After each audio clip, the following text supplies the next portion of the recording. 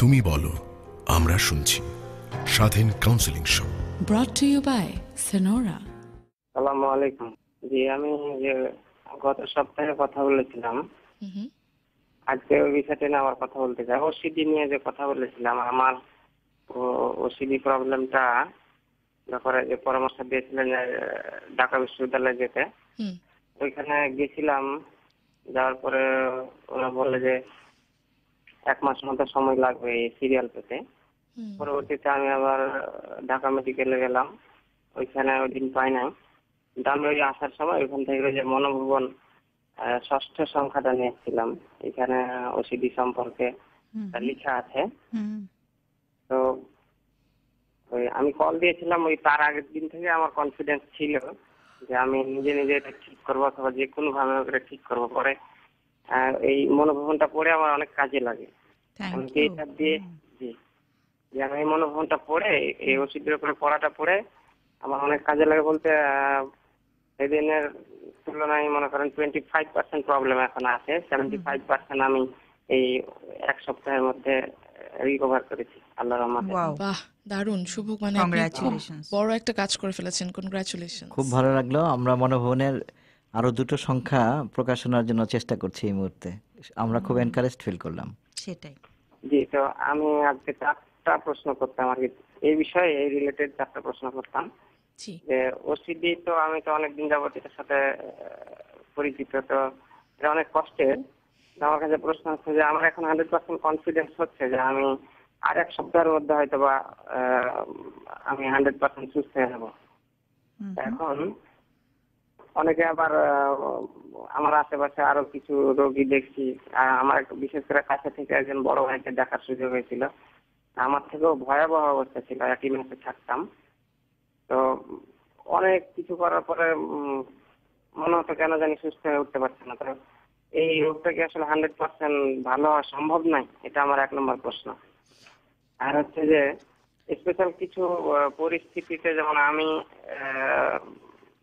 কিছু পরিস্থিতিতে পড়েছিলাম। এই সময়গুলোতে এই প্রবলেমটা আরও বেশি দেখা দিচ্ছে আমি একটু ডিটেলসে জানতে চাচ্ছিলাম যে কোন কোন পরিস্থিতিগুলোতে এই সমস্যাটা আবার ফিরে আসতে পারে। তাহলে হয়তো আমি ওই পরিস্থিতিগুলো আসলে আমি আগে থেকেই কনসাস থাকব। ঠিক আছে?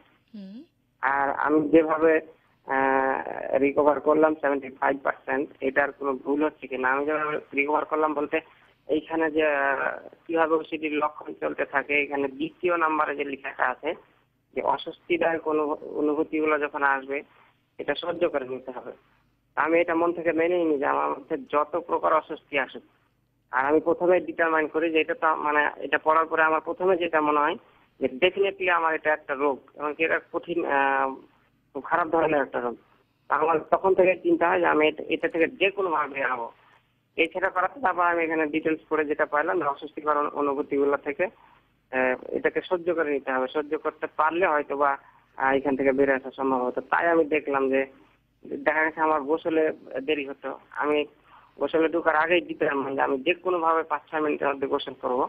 এমনকি একটা সুস্থ মানুষ পাঁচ সাত মিনিটের মধ্যে গোসল করতে পারে। চিন্তাগুলো আমি করলাম যে সুস্থ মানুষ তো পাঁচ সাত মিনিটের মধ্যে গোসল করতে পারে। ওদের গোসল হলে আমার কেন হবে না? এই চিন্তা করে দেখা গেছে আমি একেবারে ঠিক সোমবার মঙ্গলবারে গেছিলাম মঙ্গলবারে নিয়ে আসছি এটা। তারপরের দিন থেকে আমি পাঁচ সাত মিনিটের মধ্যে বিশেষ করে গোসলটাতে আমার বেশি অসুবিধা হতো। এটা আমি রিকভার করে ফেলেছি। আরও যে বেশ আনুষঙ্গিক বিষয়গুলো ছিল। সেগুলো আমি রিকভার করে ফেলেছি। এইভাবে তাহলে তিন নাম্বার প্রশ্নটা কি ছিল? যে তিন নম্বর প্রশ্নটা ছিল যে আহ, এখানে বাধ্যতামূলক আচরণ নিয়ন্ত্রণ করার যে কিছু পদ্ধতি বলা আছে যে একের পর এক বলা এটা তৈরি করার পরে একটা একটা করে সমাধান করব। তো আমি আমার কনফিডেন্স হচ্ছে আমি সবগুলো একসাথে মানে ওই দিনেই সবগুলো প্রবলেমকে ইয়া করি আইডেন্টিফাই করি এবং কি আমার মনে হচ্ছে যে আমি একসাথেই পারব। এই ক্ষেত্রে কি আমার ভুল হচ্ছে নাকি এটা আমি বুঝতে পারছি না আর কি এটা কি আমার ভুল হচ্ছে না ঠিক হচ্ছে? এমনকি আমি আহ, এই এক সপ্তাহে প্রায় সাত আটটা ভালো বড় ধরনের প্রবলেম যেগুলো আমি রিকভার করে ফেলেছি। আচ্ছা তাহলে চার নাম্বার আমরা এক এক করে সবগুলোর উত্তর শুনতে থাকব আর কি। আপনি প্রশ্নগুলো করে ফেলেন। চার নম্বরে মনে করেন আমি তো আর এক সপ্তাহ আমার কনফিডেন্স হচ্ছে যে আমি এক সপ্তাহের মধ্যে এটাকে ওভারকাম করব। তারপরেও কি আমার সাইকোলজিস্টের কাছে যাওয়া ভালো হবে কি না কি? বা গেলে কি ভবিষ্যতে যেন আরও মানে এটা শক্তভাবে ধরে রাখতে পারি ভালো পরিস্থিতিটা এটার জন্য কি যাওয়া ভালো হবে না আমি নিজেই যদি কনফিডেন্টলি কাজগুলো করি তাহলে ঠিক থাকতে পারব খুবই সুন্দর প্রশ্ন করেছ তোমাকে অনেক ধন্যবাদ প্রশ্নটার জন্য কেমন? চারটা কোয়েশ্চেনই খুব সুন্দর। আপনি কি লাইনে থাকতে চান নাকি আপনি শুনবেন রেডিওতে জি জি আমি লাইনে আছি রেডিও তো রেকর্ড হচ্ছে আমি পরে শুনব। আচ্ছা আচ্ছা। ঠিক আছে তাহলে আমরা শুরু করি। উত্তর দাও। প্রথম প্রশ্ন ছিল যে এটা কি কিউরেবল নাকি? আমরা আমি আমি চার নাম্বার থেকে শুরু করতে চাই। আচ্ছা ওকে আপনি চার নাম্বার যেটা বলেছেন যে আপনি যদি ভালো থাকেন তাহলে সাইকোলজিস্টের কাছে যাওয়ার দরকার কিনা? এই তো কথা। আমি বলব যে আপনি যে ভালো থাকেন সাইকোলজিস্টের কাছে আপনি যেতে পারেন, কিন্তু না গেলেও কোনো অসুবিধা নাই আসলে। আসল কথা কি আপনার ভালো থাকা? তো আপনি যদি ভালোই থাকলেন ভেরি গুড তাহলে আর খামোখা এর সাথে অ্যাড করে সাইকোলজিস্টের সাথে বসে কথা বলার দরকার কি? আপনি ভালো আছেন কিনা বোঝার উপায় হচ্ছে আপনার ওই ওই অসুবিধাগুলো কমে গেছে কিনা। যদি কমে যায় তো আপনি তো ডিল করছেন সাইকোলজিস্ট এর থেকে বেশি কিছু আপনাকে বলতে পারবে কিনা? কারণ এভাবেই তো ডিল করতে বলে। যেভাবে লিখেছে, ওইভাবেই তো ডিল করে। আপনি যদি সেইভাবে ডিল করতে পারেন ফাইন আপনি আরেকটা বলেছেন, এক একটি একটি করে করতে বলেছে, কিন্তু আপনি একসাথে অনেকগুলো করছেন ডিল করছেন, কমাচ্ছেন, ঠিক আছে কিনা? এটা আপনি যদি পারেন তাহলে ঠিক আছে। ওরা একটা একটা করে কেন বলে? অনেক রোগী থাকে যে একসাথে সবগুলো পারে না, আসলে কষ্ট হয়ে যায়। তা আপনি অলরেডি একসাথে যদি তিন চারটা পাঁচটা কন্ট্রোল করতে পারেন ভেরি গুড আপনি করতে পারলে কেন নয়?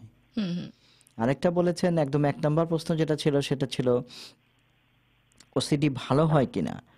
ওসিডি মানে অনেক ক্ষেত্রে আমি দেখেছি ভালো হয় আবার কোনো কোনো ক্ষেত্রে এটা অনেক দিন মানে ক্রনিকও দেখা যায় কারও কারও মধ্যে। তো আপনার আপনার ক্ষেত্রে তো আপনি ইমপ্রুভমেন্ট পাচ্ছেন এবং ওসিডির ক্ষেত্রে আমি আপনাকে যেভাবে ভাবতে বলব যে আপনার মধ্যে কিছু অস্বস্তি যদি থাকেও বা আপনার জীবনটা যদি বিঘ্নিত না হয় আপনি যদি মোটামুটি লাইফের আনন্দটা পান আপনি জীবন পথে এগিয়ে যেতে পারেন আপনি স্টুডেন্ট হলে লেখাপড়া করলেন কর্মজীবী হলে কাজ করলেন সংসার চলল মানে কোনো কিছু আটকাচ্ছেন না। ওদিকে একটু অসিটিভ ভাবটা আছে তাতে কিছু যায় আসে না। মানুষের মধ্যে কত ভাবই তো থাকে তাই না? কাজে আপনাকে দেখতে হবে আপনার লাইফের কোয়ালিটি ঠিক রাখা আনন্দে থাকা কাজকর্মের মধ্যে থাকা এটুকু যদি পারেন বাকি একটু একটু কি কি সামান্য সামান্য লক্ষণ আছে নাই সেটা কোনো ইম্পর্টেন্ট বিষয় না। ওসিডি খুব ভয়ানক রোগ আবার ওসিডি ভয়ানক রোগ নয়ও। ভয়ানক রোগ কেন অনেকে মনে করে যে কষ্ট হয় এই জন্য ভয়ানক বলে। আবার ভয়ানক রোগ নয় কেন এটা তো মৃত্যু হচ্ছে না আপনার। আপনি যদি সাহস করে ডিল করতে পারেন তাহলে এটা কিছুই না আসলে। আপনি খেয়াল করেন আপনার খুব ধুতে ইচ্ছা করছে আপনি ধুলেন না। মনে হচ্ছে জীবাণু লেগে গেছে শরীরে। থাক লাগুক আমি এটা কিছু করব না। একটু সাহস যদি দেখাতে পারেন। তাহলে এটা কিন্তু কিছুই না। কাজে এই হিসেবে এটা অত ভয়ানক রোগ নয়ও কিন্তু তাই না? এবং ছোট ছোট ধরেন আপনার মোটামুটি কিওর হয়ে গেল ছোট ছোট বিষয়গুলো রয়ে গেছে সেটা নিয়ে যদি আপনি আপনার ভাবতে থাকেন বেশি ভাবার দরকার তখন আবার ওইটা নিয়ে একটা মেন্টাল প্রেশারের মধ্যে পড়ে যাবেন তাই না? কত কত অসুবিধা মানুষের মধ্যে আছে মানুষ জানেও না ঠিক করে। সব অসুবিধা তো দূর করা সম্ভব না। আমি আপনাকে একটা উদাহরণ দেই। প্রকৃতিতে কোনো কিছুই কিন্তু পিওর না। মনে করেন বাতাস। আমরা বলি না অক্সিজেন মানুষকে বাঁচতে সাহায্য করে বাতাসেও কিন্তু শুধু অক্সিজেন না অনেক কিছু মিশানো আছে। এবং এটা ঠিকই আছে কোনো কিছুই পিওর না। আপনাকে একদম পিওর ফর্মে সুস্থ হতে হবে। সুস্থতা কাকে বলে? কেউই কিন্তু পিওর ফর্মে সুস্থ নয়। কাজে আপনি যদি কন্ট্রোল করতে পারেন আপনার লক্ষণগুলো জীবনটা মোটামুটি উপভোগ করতে পারেন ভালো থাকেন বাস ওটাই সুস্থতা। টুকটাক একটু একটু অসুবিধা থাকলে ওটা কোনো ব্যাপার নয়। এবং ওনার দ্বিতীয় প্রশ্ন ছিল কোন কোন পরিস্থিতিতে এই সমস্যাটা আবার ফিরে আসতে পারে? যে কোনো ধরনের মানসিক চাপ যখন বাড়বে তখন কিন্তু অনেক সময় এই বিষয়গুলো একটু বেশি হতে পারে। কিন্তু এটাও কন্ট্রোল করে ফেলবেন তখন একবার পারলে আবার পারবেন। উদাহরণ দিয়ে মনে করেন আমি জানি যে এই রাস্তা কীভাবে যেতে হয়। আমি আবার হেঁটে চলে যেতে পারব প্রয়োজন হলে তাই না? আর মানসিক চাপ বিহীন তো মানুষ হয় না। মানসিক চাপ তো যে কোনো সময় হবেই বলেন। আপনি জ্যামে আটকা পড়লেন কেউ বকা দিল আপনি বিবাহ করতে যাচ্ছেন আপনি একটা প্রেম করে সফল হয়েছেন ওটাও কিন্তু মানসিক চাপ নতুন পরিস্থিতি বাড়ি বদল করছেন ওটাও মানসিক চাপ তাই না? মানসিক চাপ ছাড়া জীবন হয় না যখন একটু কখনো এই লক্ষণগুলো বেশি থাকবে বাড়বে একটু মনে হয় কখনো তখন কি করবেন? কিছুই না ও যে যেভাবে আপনি এখন করছেন ওটাই করবেন। আপনার জীবনে কি কখনো সর্দি একবারই হয় না অনেকবার হয় আমাকে বলেন তো? ঠান্ডা লাগা সর্দি লাগা অনেকবার হয় না?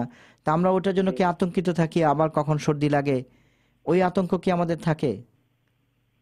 এবার কনফিডেন্স কনফিডেন্স চলে আসছে যে আমি একেবারে ভালো হয়ে যাব না আপনি একেবারে ভালো হয়েই যাবেন কিন্তু আবার কখনো কিছু হয় কিনা? হতেও পারে লাইফে মানুষের জ্বর হয় না সর্দি হয় না বারবারই তো হয়।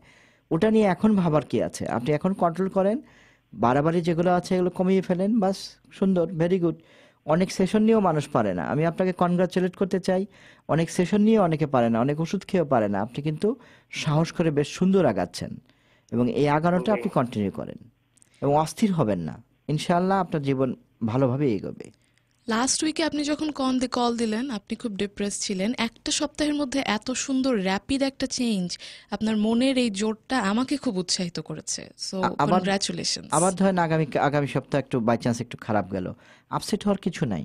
আপনি একবার পারলে আবার পারবেন। চেষ্টা চালান ইনশাআল্লাহ দেখবেন যে আপনি ভালো হয়ে যাবেন। আমার হান্ড্রেড পার্সেন্ট কনফিডেন্স আছে কি জন্য যে আমি এখান থেকে বেড়ে আসার যে একটা মজা আছে এই মজাটা পেয়ে গেছেন। থাকতে আর কি। ভেরি গুড এখান থেকে বেরে যে কয়েকটা জিনিস থেকে বেরিয়ে আসতে পেরেছি এখান থেকে দেখলাম যে মানে দীর্ঘদিন যাবত এই মজাটা পাচ্ছিলাম না। এখন আমি ভাবছি যে না এই মজাটা কোনোভাবে আমি হারাতে দেবো না। Very good. এই যে তোমার মোটিভেশনটাই কিন্তু তোমাকে অনেক হেল্প করবে। আহ, আমি জাস্ট একটু একটা জিনিস অ্যাড করতে চাই সেটা হচ্ছে যে তুমি বিহেভিয়ারাল লেভেলে চেঞ্জ করছ তো? তোমার আচরণগুলো পরিবর্তন করছ যে গোসলটা যতক্ষণে করতে তার চেয়ে অনেক কম সময়ে করছ তুমি হ্যাঁ? তো এটা হচ্ছে তোমার আচরণগত মানে জায়গাতে পরিবর্তন। তো যেটা হয় যে আমাদের আচরণগুলো আচরণগুলোর আগে আরও দুটো মানে ইয়ে কাজ করে স্তর কাজ করে। সেটা হচ্ছে চিন্তার স্তর এবং একটা হচ্ছে তোমার আবেগের স্তর। তো এই চিন্তা এবং আবেগের স্তরের জন্য যদি তুমি হেল্প নিতে চাও মানে হেল্প নাও নিতে চাও বলব না হেল্প নাও তাহলে কিন্তু তোমার এটা ধরে রাখতে এই আচরণটা ধরে রাখতে অনেক সুবিধা হবে। এবং যেটা সাইকোথেরাপির মাধ্যমে হেল্প করা হয়। যে আমি যে আচরণটা করে ফেলছি তার আগে কিন্তু আমি আরও দুটো স্তর পার পার করছি। প্রথমে একভাবে ভাবছি ভাবনাটা আমার মধ্যে আবেগ তৈরি করছে এবং তখন আমি আচরণটা করে ফেলছি। কেমন? তো তোমার চিন্তা এবং আবেগের মধ্যে পরিবর্তনের জন্য সাইকোথেরাপি সাহায্যটা কিন্তু তোমাকে এটা রিল্যাপসের রেটটা কমিয়ে দেবে। এই যে মানসিক চাপমূলক পরিস্থিতি এলেও তুমি হয়তো অনেক সময় ওটা হ্যান্ডেল করতে পারবে যেহেতু তোমার আবেগ এবং চিন্তার স্তরে তুমি পরিবর্তন আনতে পারো। কেমন? মানসিক চাপটা হ্যান্ডেল করতে পারব এটার উপর একটা কনফিডেন্স থাকে আমার যে হ্যাঁ হ্যাঁ। এখন যে সময়টা পার করছি এটা সবচেয়ে ভয়াবহ সময়। কারণ হচ্ছে পড়াশোনা যে গত দুই মাস আগে এমবিএ শেষ হলো। এখন সবচেয়ে টেনশন হওয়ার কথা। কিন্তু আমার এখন সবচেয়ে কনফিডেন্স বেশি আছে যে আমার মানে খুবই ভালো জায়গায় হতে পারতে চাকরি হবে। আমি সেইভাবেই পড়াশোনা করছি। আমি এখন ডিপ্রেস হচ্ছি না। এই জন্য আমার মনে হচ্ছে যে না যে এই সময়টা যদি আমি ভয় পাইতাম যে কি হবে চাকরি পাইলে হবে কি? আগে যেমন কোনো একটা ভালো কিছু পাওয়ার জন্য দেখা গেছে কি জুড়ে দিতাম এটার জন্য কিছু করতাম আমাকে এটার জন্য হাত দিতাম পা দিতাম এই যে ইয়াগুলো করতাম। এখান থেকে এখন আমি বুঝতে পারছি যে না বাস্তবতাটা দরকার নেই সেগুলো সেটা বুঝতে জি, পেরেছেন। ভেরি গুড আমি কথা প্রসঙ্গে একটু বলে রাখি আপনাকে না আমি বলছি যে আপনার কথার সূত্র ধরে অন্যদেরকেও যাদের সূচিবায় আছে আমাদের জাতীয় মানসিক স্বাস্থ্য ইনস্টিটিউটে একটা গ্রুপ থেরাপি করি আমরা। প্রতি বৃহস্পতিবার দিন এগারোটায় আমাদের ওখানে হাসপাতালে।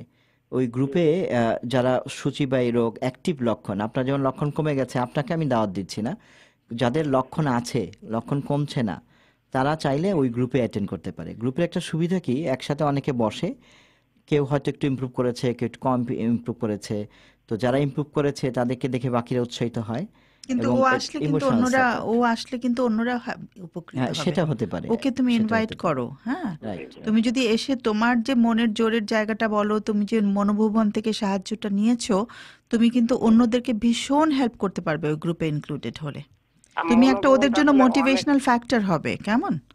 এই যে আজকে তুমি ফোন করলে না অন্য যারা তোমার মতন এরকম। অসুবিধায় রয়েছে তারা যেরকম উৎসাহিত বোধ করল তেমনি করে এরকম একটা গ্রুপে তুমি গেলে তুমি মানে তুমি তোমার নিজের ভীষণ বড় একটা পরিতৃপ্তি কাজ করবে যে আমি সমাজকেও সাহায্য করছি আমি শুধু একা ভালো থাকছি না। যেতে হলে কি আগে থেকে কোনো ধরনের কোনো অ্যাপয়েন্টমেন্ট নেওয়া বা কোনো কিছু? আমাদের হাসপাতালে যদি কেউ যেতে চায় একদম সিম্পল সিস্টেম যে বৃহস্পতিবার দিন সকাল আহ, সাড়ে নটা দশটার দিকে চলে গেলে আউটডোরে গিয়ে একটা টিকিট কেটে তারপরে আউটডোরে ডাক্তার দেখে একটু রিকোয়েস্ট করলেই ওরা লিখে দেয়। লিখে দিলে এগারোটার মধ্যে গ্রুপ থেরাপি শুরু হয়ে যায় ওখানে চলে আসলেই হয়। সিস্টেমটা হচ্ছে এরকম।